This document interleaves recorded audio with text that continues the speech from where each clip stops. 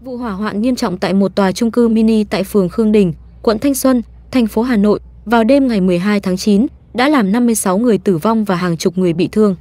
Vụ việc này đã gióng lên hồi chuông báo động về an toàn của các công trình nhà chung cư mini. Điều đáng lo ngại hơn là hiện nay, chúng ta đang chứng kiến sự bùng nổ của chung cư mini, những tòa nhà này mọc lên như nấm trên các ngõ và hẻm của thủ đô Hà Nội. Nguyên nhân chính của tình trạng này là do nhu cầu về nhà ở từ phía người dân các tỉnh lân cận đã tăng lên ở các thành phố lớn trong vài năm gần đây.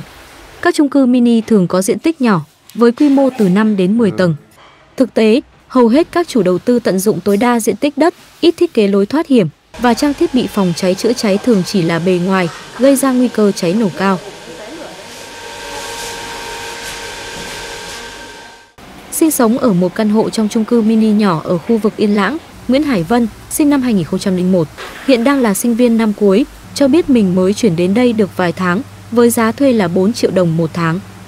Hôm qua thì mình cũng có biết được thông tin về vụ cháy ở Thanh Xuân và mình cũng uh, uh, khi mà biết được cái thiệt hại mà vụ cháy gây ra thì mình cũng cảm thấy khá là sợ hãi và lo lắng cho bản thân mình cũng như là um, dân cư đang sinh sống ở chung cư của mình bởi vì uh, mình cảm thấy là chung cư hiện tại mình đang ở hơi uh, kín và cái công tác phòng cháy chữa cháy cũng chưa được đảm bảo uh, là một sinh viên mới ra trường thì với cái mức lương hiện tại của mình cũng không đủ có khả năng để có thể chi trả một uh, để mua một căn chung cư hay là một căn hộ.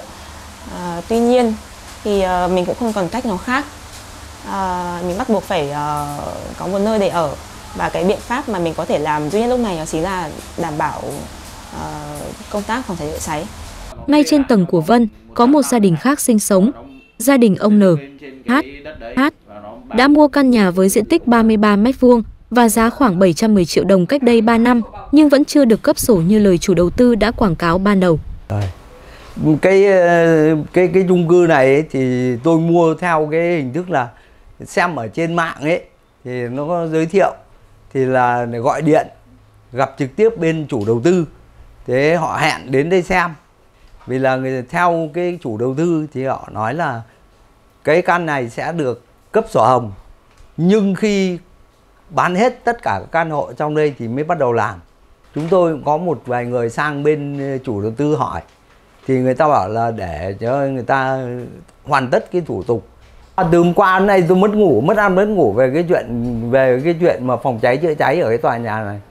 Hầu như không có một cái gì cả, mà chắc chắn là không có một cái gì để gọi là phòng cháy chữa cháy cả.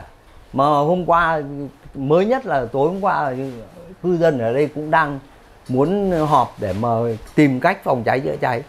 Với việc xuất hiện nhiều chung cư mini và các vụ cháy xảy ra ngày càng nhiều, trong đó nhiều vụ đặc biệt nghiêm trọng. Do vậy, việc đảm bảo an toàn và tính pháp lý cho những căn hộ này trở nên cấp thiết hơn bao giờ hết. Cơ quan chức năng cần thắt chặt về việc quản lý, cấp phép cho những đơn vị hay cá nhân có nguyện vọng xây dựng những chung cư kiểu như thế này.